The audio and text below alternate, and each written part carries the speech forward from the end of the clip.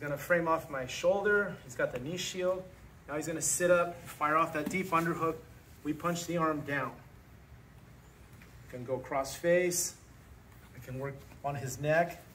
And I'm just gonna drop my hip and make sure his knee points away from me. Switch my base, settle into the top position. Top half guard, but I'll take this. And you notice from here, the underhook has no power, simply because I'm controlling the leg. Okay, one more time. You guys see how Steve-O's positioned? He's on his side. A lot of times we have the knee shield. Now he comes up on his elbow, gets that deep underhook. Put, punch the hand down on the knee, right here. Now he has no more rotation.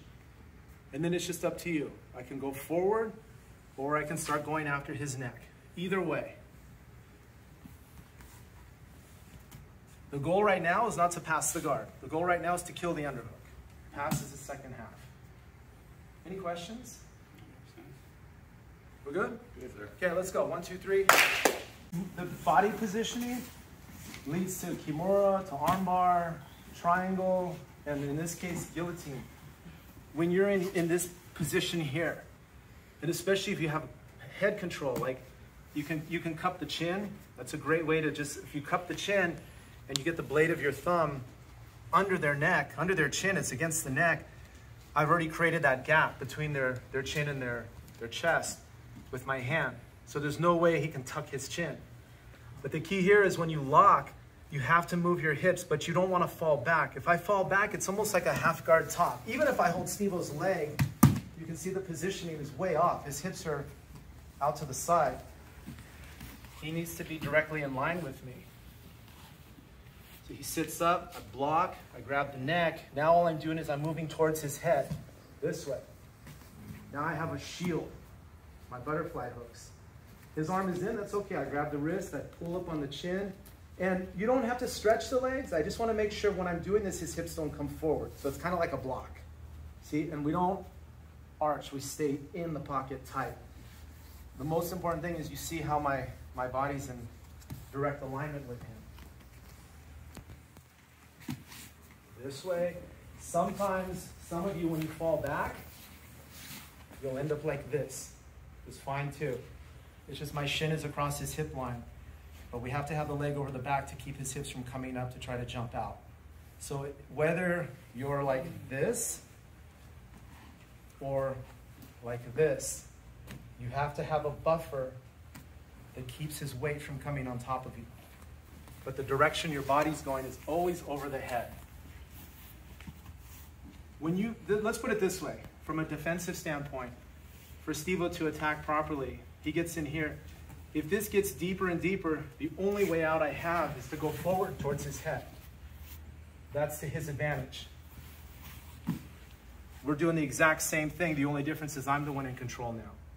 Now I'm moving towards his head, but I'm sitting and creating a buffer. It can be this way, or it can be this way but you see the positioning of our bodies. You're basically sitting to guard, but you have to move enough to create space for your knee to come in or your hooks to block. And it's, it's kind of, um, we're working from the same scenario. The only difference now is we're gonna be on our hip. We're gonna be like this, sorry. Mm -hmm. Like this. And again, the underhook, it's from here, a little bit more challenging, but it can still be problematic. I mean, for me, for me on top, for him on the bottom, this need, the way this becomes more effective for him, he starts turning his hip over. Yes, mm -hmm. that's the, that's gonna where it becomes an issue. So same thing. I feel this starting to like really get in deep. I block his leg and I move my hip out a little bit. Because the thing you want to remember from here, his core movement. This is how you get out of this position.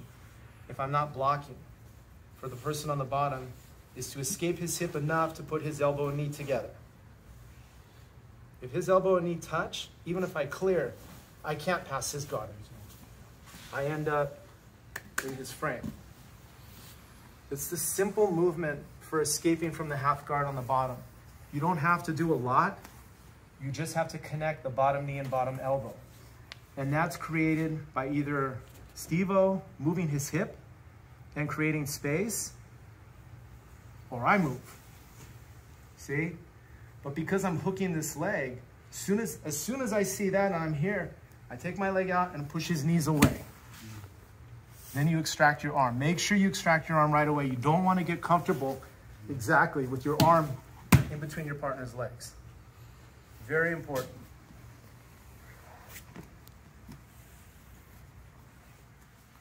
This, this, ar- this leg control is the big neutralizer when it comes to dealing with the underhook. This is anytime, anytime he wants to try to come up or come after me, it's like, you see, it's, you want to, you're always paying attention to the space between his knees. If the wider that gap becomes, it's so easy. I can go to three quarter mount. Mount would be a little bit challenging, but three quarter mount's strong.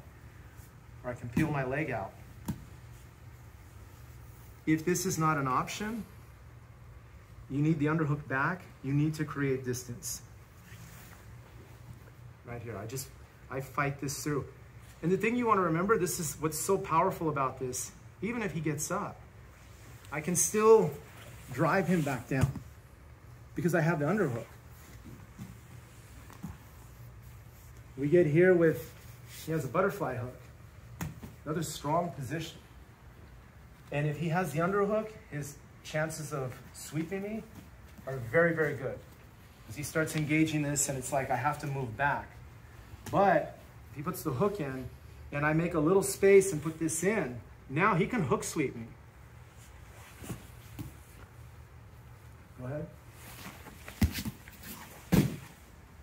The underhook always keeps you anchored to the top position. Or I should say it keeps him anchored to the bottom. It's like a hook. The key is you just have to be confident in it and understand how much power it really gives you. The importance of securing it from the top position. So you're working, this is great, this is great. They both work very, very well. Never feel like, well, I lost this, I'm out. No, maybe this is good, this keeps me in the game. And I, can, I don't mind giving him a little bit of distance because I understand that even if I get out here and he brings his elbows and knees in, I can always maintain control.